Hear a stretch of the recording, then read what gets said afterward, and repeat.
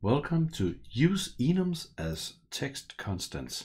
Hey, I'm Erik, and um, I know we did a video just on on enum extensions, but um, this video is going to be about enums uh, and a alternative thing that you could use enums for. Um, text constant. A lot of languages has a concept of defining text constants. You can uh, you can have like a little library of text constant and use them, but we don't really have that concept in uh, in in BC. Everything becomes a runtime string uh, in most cases. Uh, we do have labels, but then they're not really accessible from a, a global scope. Uh, label is always a variable somewhere. Um, but back in January, my good friend, let me just switch over to Twitter. My good friend AJ. Um, you should totally follow him on Twitter. And uh, if you're ever into uh, working with Business Central and APIs, he does some killer classes on uh, on APIs. So uh, go look him up. Uh, Kauffmann, let me actually, uh, Kauffmann.nl, he's from Holland. If that is correctly spelled, there it is. That his his, his homepage. Anyway, that was just detour. Um, he tweeted the following: blah blah blah, uh, discussing global or local. Blah, blah. In AL, we don't have resource files to store text in like you can do in other languages, but we can use abuse enums for that. What do you think? Good idea or, or is this a no-go? Then he shows a nice example where he has created a error messages enum and um, created the error messages as the caption of enum so you can do error format enum error message field incorrect value so that it's uh, it, it, actually a pretty good idea. I, I think it's a pretty good idea. Uh, of course, there is some visibility of uh, of the actual value uh, here, um, like seeing what percentage one and percentage two are something. But in, in it, it's a nice hack, and and on this channel, we salute a nice hat. Hat. Oh, we get we I don't know what I'm saying. Sorry. Uh, I tip my hat to salute a good hack. Was that good enough save? Anyway, okay. Um, so I saw this and I, I liked it, and, and then I kind of forgot about it again until a few weeks later when I was working on um, something that probably will never see the light of day, but, but let's see the see it anywhere. So I was I was working on a chess engine, a chess game in in AL because uh, why not? Uh, and I was suddenly in the situation where I needed to handle some a lot of bitmaps because there's a lot of pieces in chess. There's a um, there's different backgrounds and stuff like that. Uh, so suddenly I had to juggle a lot of, of bitmaps. Um, and and those bitmaps were basically constants. Um, and I've thought of AJ's idea. So this could work here. And if, if, and if you look at it, and this is just test data, uh, uh not test data, just you know, I was hacking one one night, and but if you look at at a line like the one that I'm trying to isolate here, uh, engine dot set bitmap on position, rec. Forget about that's the that's actually the board. Chess piece colon colon black bishop on white square.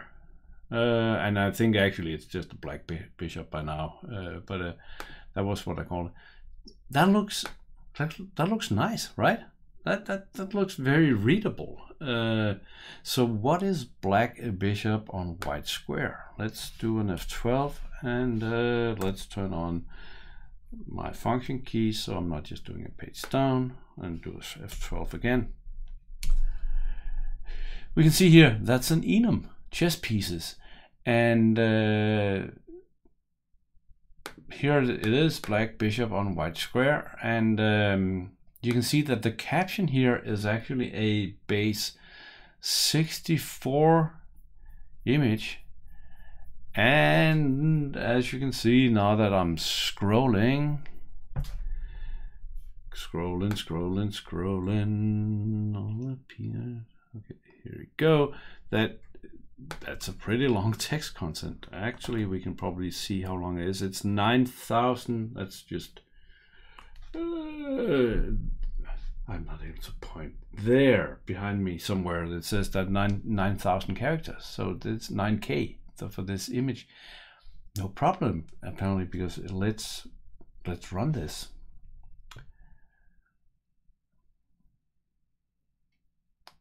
And you can see that the in the the black bishop is placed in a lot of squares as you can see that that my issue with trying to use the blob layout that I used in the tic-tac-toe game to create a, a, a chessboard clearly it's not working. This is this is not playable all right? So so I kind of abandoned the idea of, of trying to render a chessboard in in in AL but but the the concept of storing this 9 kilobyte text constant inside the enum works very well.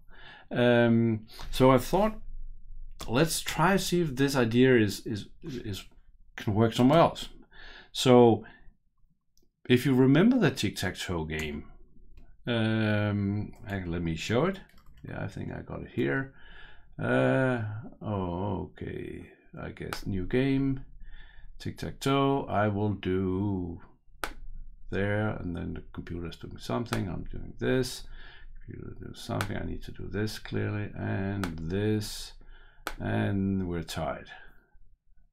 So sorry, that's a uh, tic-tac-toe game, and this is this is just in in, in AL. Um, so that's pretty nice. But but let's take a look at the code. So we have a function in here called oops, set bitmap on position. Gets a board, it gets a image type, that's actually an enum, and um, it gets a position. So I wonder if we could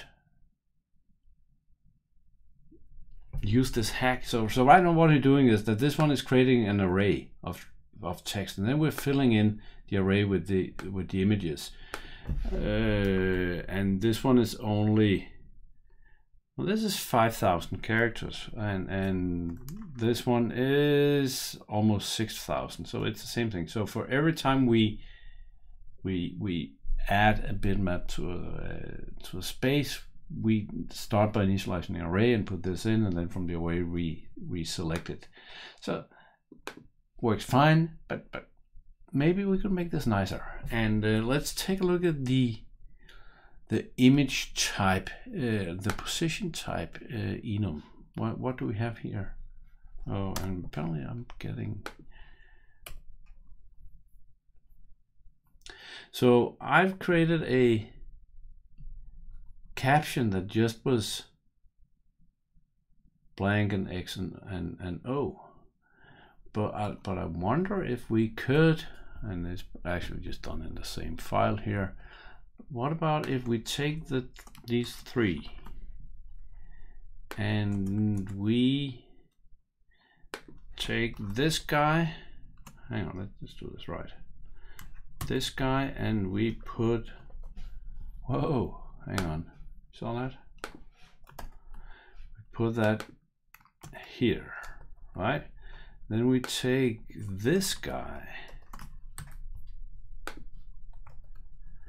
and we put that in the X.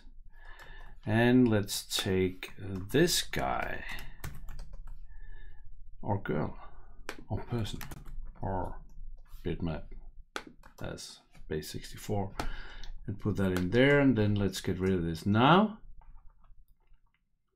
let's let's go back and check well, how did we actually do it in the chess game? How did we do this So set bitmap on position. So in this case, we just took format on the enum and that will give us the caption. So let's go back and take a look at that function up here. So clearly we don't need this anymore. So let's just get we don't need this anymore. Uh, so let's change this line into that what we want to do here is basically just format image type. That's we want to put that into the base64. Okay, let's see if this works or not. I'll hit a 5.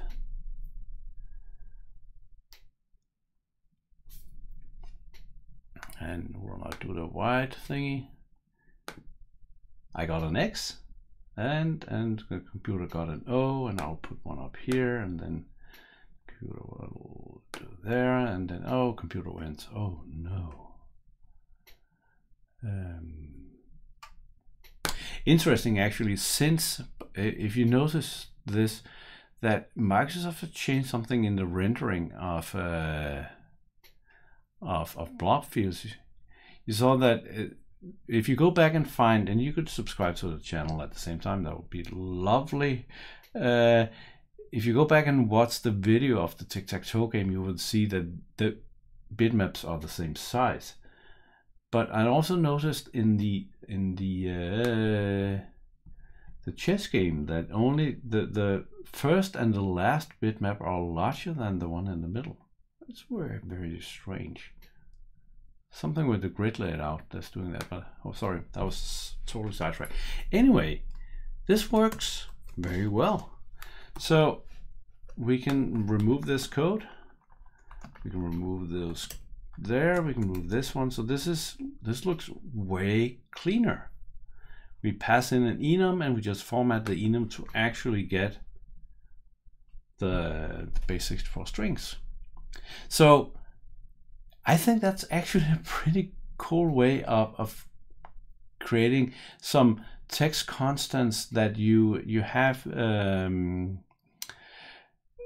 you need in a lot of places. Just put them in one place and and, and use an enum to address them. There's one issue, and, and let me show you this. So uh, if I would have turned on translations here, uh, then and and you started to look into translation, then these guys would go into the translation also, and and you need to make sure that you don't translate this into another language. Um, but I guess that's pretty manageable. That you can see that this is actually not a usual text anyway. So I think it was an awesome idea AJ got. Uh, maybe this was not the his intent that use it to keep stuff like this. But if you have text constants you need to use, and that, that might be headers or footers or part of if you're building file formats and stuff like that, instead of having those pieces in in strings and sitting as variables, you can use this approach uh, so your code suddenly looks nicer because you can clearly see that that's a text constant and text constant colon colon if you could just call the enum text constant. Um, so I think it's an it's an awesome hack and uh, let me see if I can I, we salute the hack. Yeah. but until next time have a wonderful day